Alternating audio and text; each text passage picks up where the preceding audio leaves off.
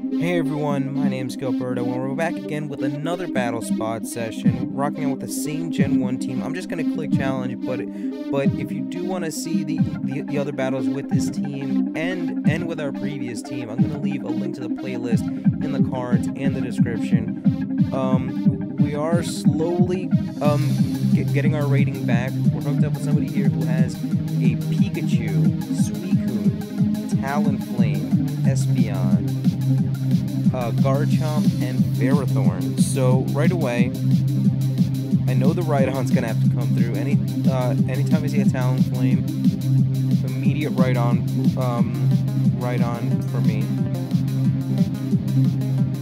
Uh, what else? I think I'm gonna need the Beedrill for for the Espeon and and I do have the drill run for I guess the Pikachu and the uh, and the Ferrothorn there and it's and, and it's gonna obviously do damage to that Suicune. I don't. Um, it'd be a pretty bad matchup for me if I got if I got um, if I it went up against that Garchomp there. So Beedrill will be my Mega. I'll, I'll probably just lead Beedrill,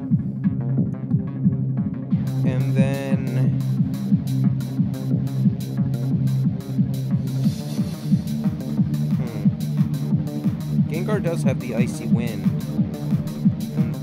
which will counter that Gengar, and and um, and it'll and, and it'll take on that that Espeon with that Sash. So that might be the, the way to go there. Uh, so yeah, I'll I'll lead Beedrill with the Rhydon and Gengar in the back. We'll rock out that way. Uh, very unusual team. Um, definitely once you get under um, under 1500 you get the more weird gi gimmicky teams. But it is but it is probably more entertaining than than the upper tier nonsense where where you have nothing but landers everywhere uh, this is obviously not great but I okay. Now uh, I was just gonna say I'll just get the mega um, the Mega Evolution and Protect, but then he's just gonna he's gonna try to set up all over me. I bet if he if he has the Sword Dance, he might just be Bandit. I'm not sure, but I can't risk that, so I just have to go straight out and do Rhydon straight up. This is a very bad opening matchup, obviously. Uh, so here we have the Rhydon. Again, the Rhydon is here specifically for Talonflames because uh, I was uh, I was messing with this on Battle Spot on on um, Showdown, and Talonflames wrecked my team before I brought in this Rhydon. So Talon Talonflame might just switch out.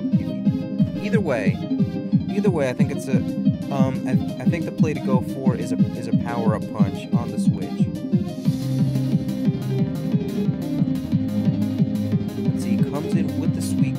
Not great. Um, wasted power punch here. Might have gotten some decent damage with a straight up earthquake. Um, he's probably gonna rock. He's probably gonna come back at me with a scald.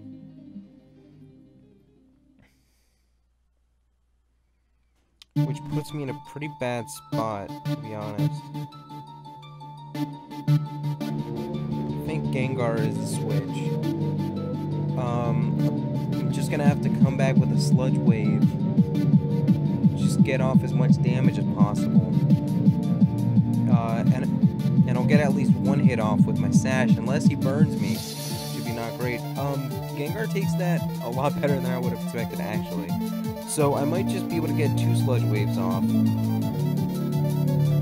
And I am tempted to to burn him as well, just for have a pretty good feeling this is going to be uh, Rest Suicune. Ooh, I, he does get the burn.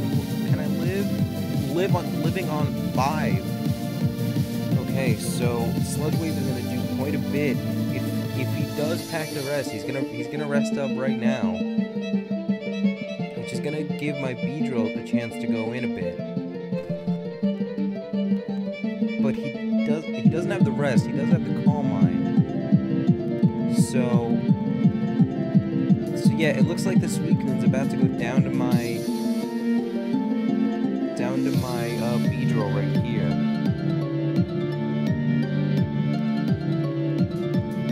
Now he might expect to protect and, and switch and just switch into Talonflame, which suggests maybe I shouldn't protect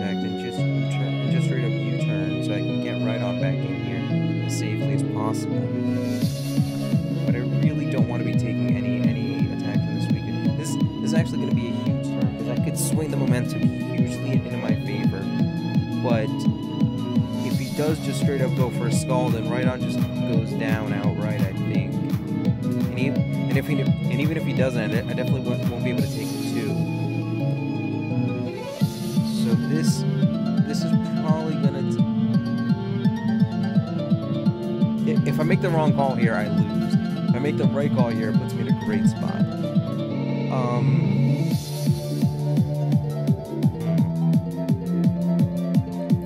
Want to preserve this week? Part of part of me just thinks that he doesn't care about this week anyway. Oh no. Oh no. I got I, I let the timer run out. But I accidentally made the right play anyway. Because Beedrill did Mega Evolve. So I didn't even get the Mega Evolution off at all. But I, but I did outspeed. I did still outspeed and get the U-turn off. That was kind of insane. So that was a, that must have been a, pretty slow defensive Suicune.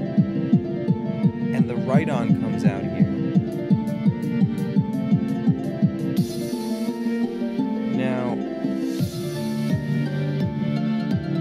Still blown away by that last turn. I Can't believe that happened. I was so I was so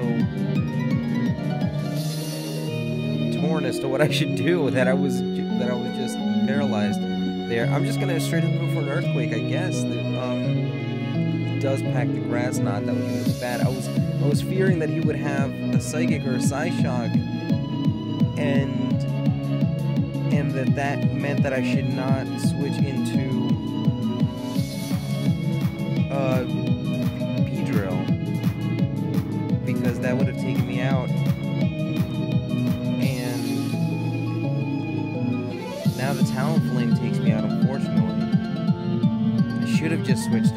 did not. I, I did not. I did not expect the grass knot. I should have seen that coming. That was that was on me. Uh, but for whatever it's worth, I'll take the Espeon out.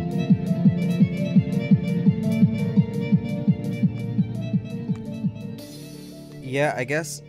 I mean, honestly, I think I was just so, so taken aback by the by by letting the timer run out that I that I didn't even think of the grass knot. That I was just really taken aback with that. Like that was nuts. I've never been timered out on a turn before.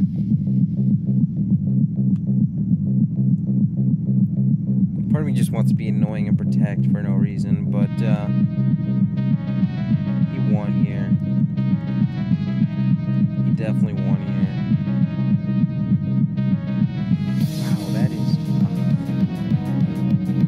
was a crazy battle. Um, uh, definitely could have won that. Like I said, that um, that one turn definitely did determine the match. Uh, all right. Uh, thanks for watching. We upload twice a day. Um, come back for more battles. Uh,